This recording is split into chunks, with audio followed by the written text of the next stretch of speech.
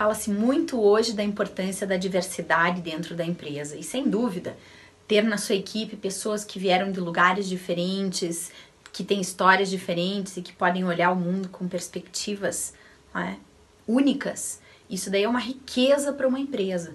Mas a diversidade sem uma escuta, sem que você seja capaz de ouvir a opinião do outro e integrar isso, serve para nada. A diversidade sem escuta, o que ela gera é só caos.